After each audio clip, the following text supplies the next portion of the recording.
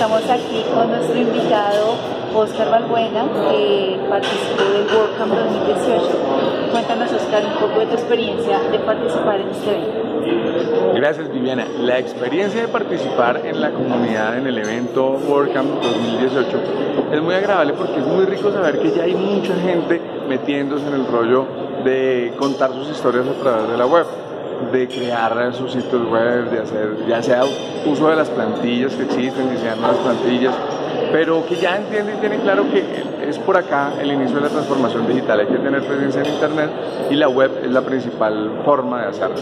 Y más con WordPress. Y más con WordPress, por supuesto. En WordPress cuentas tú con una comunidad de apoyo, de conocimiento, donde todos pueden integrarse, participar y apoyarnos los unos a los otros. Cuéntanos, Oscar, eh, ¿qué es lo mejor o la mejor experiencia que tú tienes de participar de una comunidad?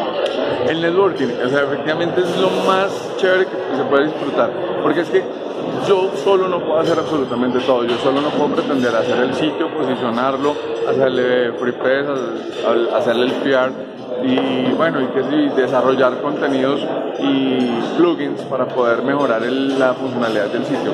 Por eso encontrar tantos cerebros en esa reunión, que además van cerebros con corazón, con pasión en el tema, es muy agradable poder entender que hay muchas personas especializadas en muchos temas que te permiten desarrollar todo el plan de marketing de una manera estratégica y totalmente profesional. De acuerdo. Cuéntanos un poco de tu charla Persuade, enamora, persuade y vende. Persuade, enamora y vende. Persuade, enamora eh, mucho, hay, hay, varios temas de marketing muy interesantes, pero cuéntanos eh, qué tips nos das para nosotros empezar a contar nuestra propia. Bueno, lo primero es entender a quién le voy a vender, eso es lo, lo, principal. Después de entender a quién le voy a vender, es como empiezo a contar la historia, pero de una manera diferencial.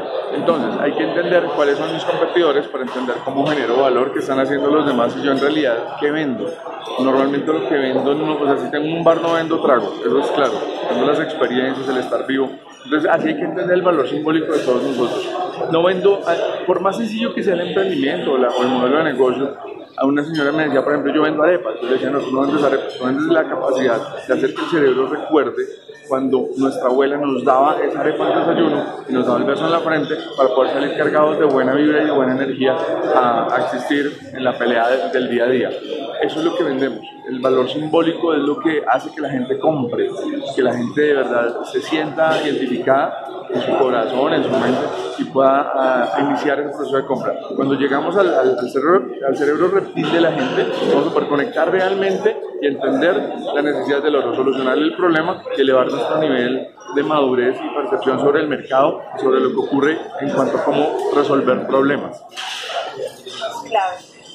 Listo. Pues a mí me interesa mucho aprender a escribir. Realmente eh, lo que comentábamos ahorita en detrás de cámaras es solo eh, meter, meter, la ficha e intentar a contar nuestra historia. Eh, no necesitas ser un escritor, me gustó también mucho lo que me comentaste, no necesitas ser un top, un top novel para poder empezar a, a dar flujo a esa historia, a contar tus experiencias, conectar mucho con tu pasado, con tus vivencias mucha gente que ha pasado por lo mismo. Entonces, hay que empezar a contar las historias. Mira, hicimos el ejercicio con, una, con un grupo de empresarios de gastronomía en el Tolima. Yo les decía, ¿por qué, ¿por qué no ha habido nadie que cuente cómo, cómo disfrutar un chicharrón? Por ejemplo, parece una cosa, o sea, si te la digo aquí así, fuera de contexto, parece una cosa boba. Pero cuando alguien llega a una región en donde le dicen, oiga, el chicharrón de esta zona es lo más delicioso que hay, y sí, listo, contemos la historia de cómo, cómo comérselo. No, no cuántos mordiscos hay que darle, sino con qué lo podemos combinar, porque hay muchas formas de comerse un chicharrón, pero no hay una guía sobre eso. Quien la escriba va a tener más visibilidad en la web y va a tener, por supuesto, más personas que le compren.